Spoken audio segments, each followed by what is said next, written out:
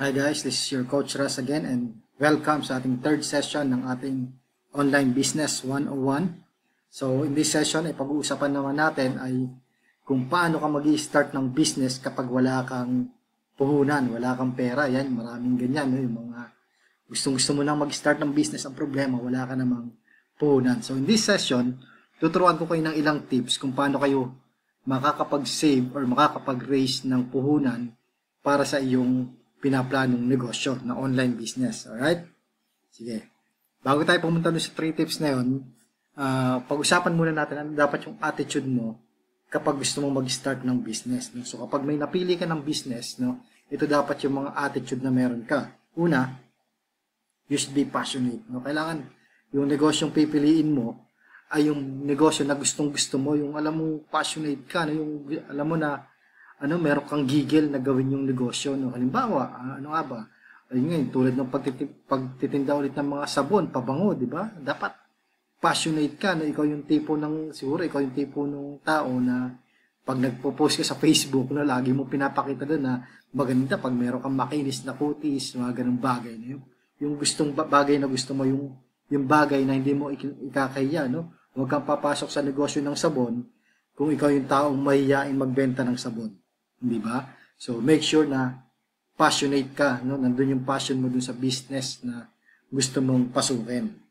Pangalawang attitude mo, dapat dedicated ka, no? Kapag may sinimula ka negosyo, dapat lahat talaga gagawin mo, no? You, you, you really act on it, no? Talagang uh, pagpaplanuhan mo siya, uh, pag-iisipan mo, paano mo siya ipopromote, paano mo palalaguin yung negosyo mo. Dedicated also, dapat araw-araw binibigyan mo siya ng oras, hindi yung aasikasuhin mo lang yung business mo kapag meron ka lang free time o kailan mo lang maisipan. No? So, pag nag-start ka ng negosyo, make sure na uh, dedicated ka na talagang ibibigay mo yung lahat mo para umasenso yung iyong negosyo. Okay? Next, attitude. You should be unstoppable. No? Unstoppable, ibig sabihin, uh, kapag sinimula mo yung business mo, nag-fail ka, di ba? Huwag kang titigil, huwag kang panghihinaan ng loob. Tuloy-tuloy lang, no? May may in-invite kang tao to join your business, no? Na-reject ka, no? Tapos nag-try ka ulit sa pangalawa, pangatlo, pang, pang-apat na tao, in-invite mo na naman sila, sobrang passionate ka, sobrang dedicated ka, pero ni-reject ka pa rin nila.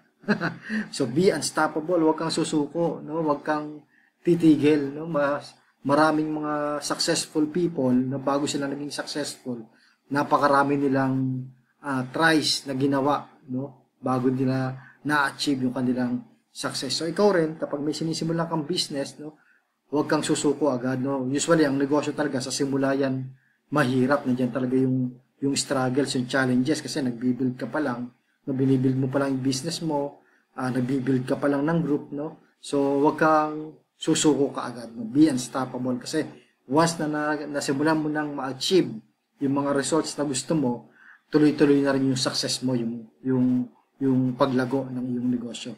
So, be unstoppable, ha? Huwag kang papatalo sa mga rejections. So, rejections kasama talaga sa, sa business yan. Alright? So, three attitudes, be passionate, be dedicated, and be unstoppable. Alright? So, punta na tayo ngayon.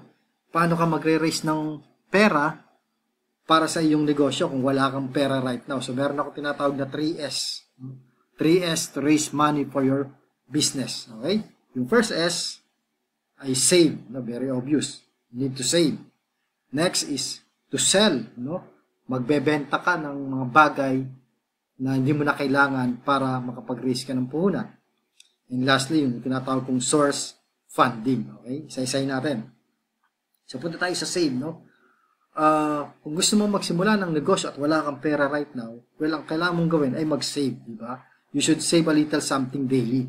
No? Ano ba yung mga pwede mong matipid sa araw-araw, di ba? So, daily siguro may budget ka. Halimbawa, ano ba?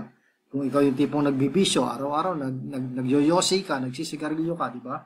Bawasan mo yung paninigarilyo mo, bawasan mo yung sticks mo daily. Tapos, yung natitipid mong uh, pambili ng sigarilyo, huwag mong gagastos sa ibang bagay. Isa-save mo na siya. Di ba? Paunti-unti. So kung ang halimbawa, ang puhunan sa business mo ay 1.5, di ba? Or 3,000 pesos, di ba? Yung nat natitipid mo sa pagyoyosi mo, i-save mo na yon no? At uh, maging dedicated ka na yung nasi-save mo ay hindi mo gagastusin, di ba? Kung katulad kita na malakas mag soft drinks, no? araw-araw nag nagso soft drinks, mag-fasting ka muna sa soft drinks, di ba? Para makatipid ka, di ba? Magkano yung yung yung soft drinks ngayon, yung binibili ko soft drinks, 25 pesos yan, eh, no? Yung Coke Kasalo. So, uh, araw-araw, actually, bumibili ako noon. No? So, imagine niyo kung, uh, let's say, every other day na lang magsa soft drinks, di ba? In, in a week, meron akong matitipid ng mga 75 pesos to 100 pesos. Di ba? So, save a little something daily. Basta mahalaga, sa araw-araw, doon sa regular na gastos mo, meron kang nasa-save. At yung nasa-save mo, yun yung gagamitin mo para sa iyong pinaplanong negosyo.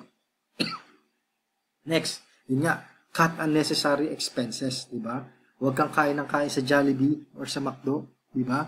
Ano nga yung sabi ni, ni Chinky, ni Chinky Tan, di ba? Yung parang, uh, ngayon, social ka ngayon, tapos pulubi later, parang gano'n. No? So, cut unnecessary expenses, di ba? Kung uh, usually, ano ba, uh, pagkakain ka sa halimbawa nga sa mga fast food chain, di ba? Nag-a-upsize ka ng mga drinks, no? Siguro wag ka na mag-upsize ng drinks, pero mas maganda nga, wag ka na mag-fast food kasi mahal doon, di ba?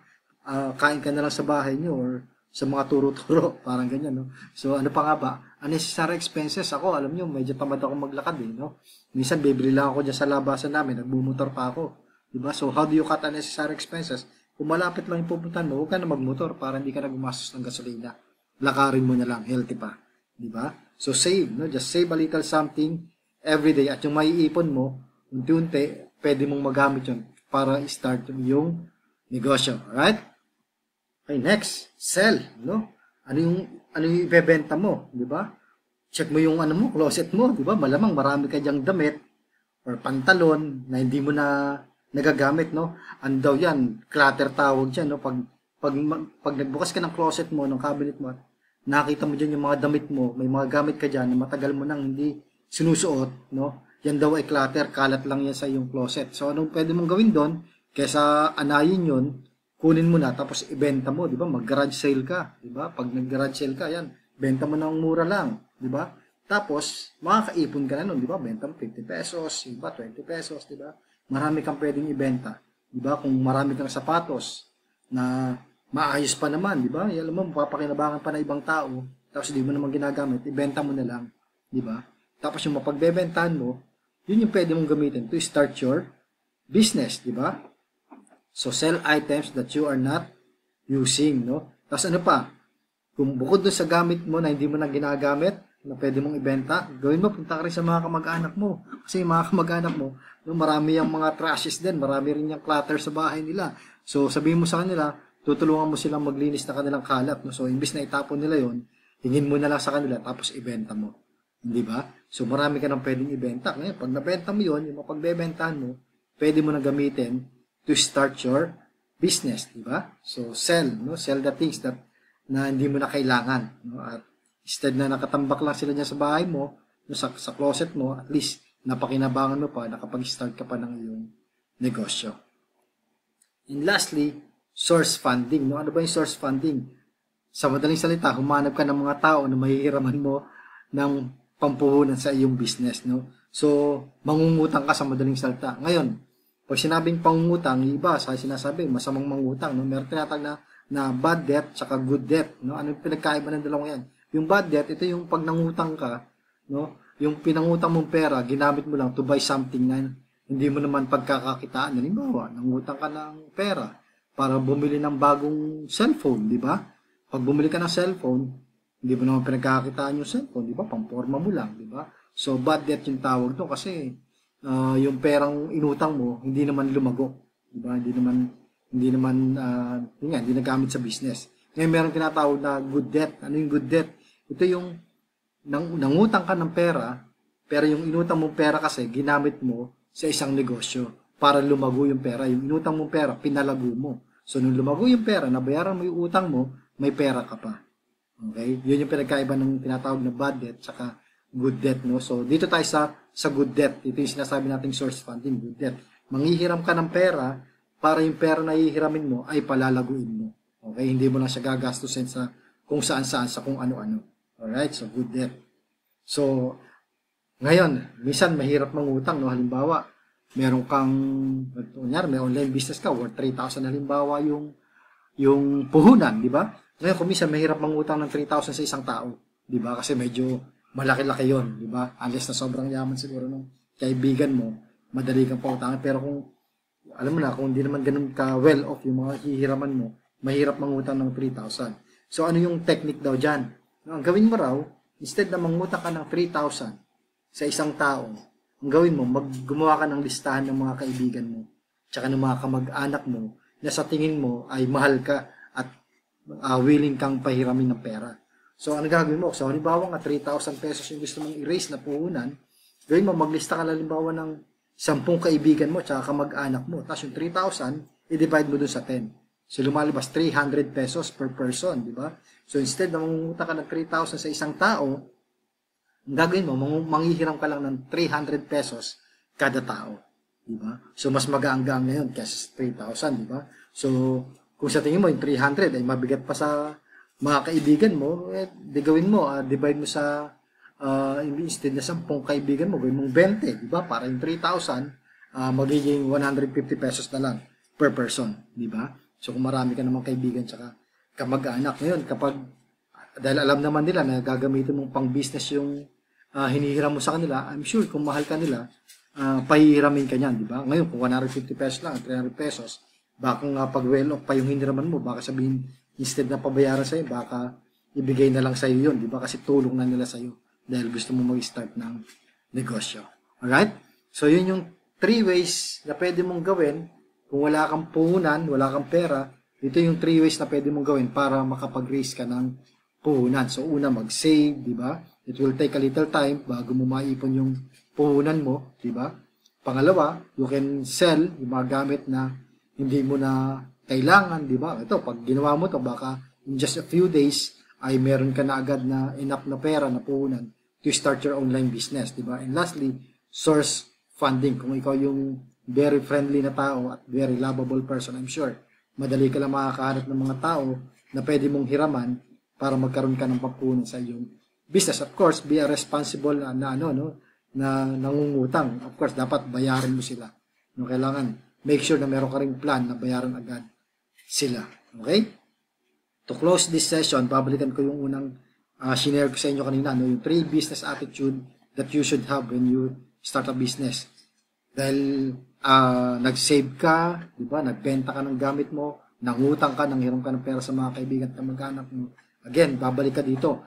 Kapag sinimulan mo na yung negosyo, yung pera na na-raise mo ay ginamit mo na sa negosyo, you should always remember these attitudes. Okay? Be passionate, be dedicated, and be unstoppable. Make sure na yung business na papasukin mo ay gagawin mo yung lahat, magte-take action ka para palaguin yon, di ba? Para yung mga hiniraman mo ng pera ay mabayaran mo, di ba? Yung mga binenta mong gamit ay mapalitan mo ulit, di ba? At yung mga tinipid mo sa sarili mo dati na hindi ka kumakain sa fast food, kapag lumago na yung business mo, magagawa mo na ulit. Alright? So, ito yung mga bagay na pwede mong gawin para makapag-start ka ng business at kung namumroblema ka ng persa ngayon. Alright, so just follow these tips at uh, sana, no, sana ay makatulong to sa'yo para makapag-start ka na agad dun sa negosyo na gustong gusto mo nang gawin. Alright, so see you on our next session. Uh, I invite you to subscribe to my channel and uh, follow me sa Facebook din, di ba? And see you sa ating next uh, sessions dito sa ating online business 101. Thank you for watching this video and God bless you always.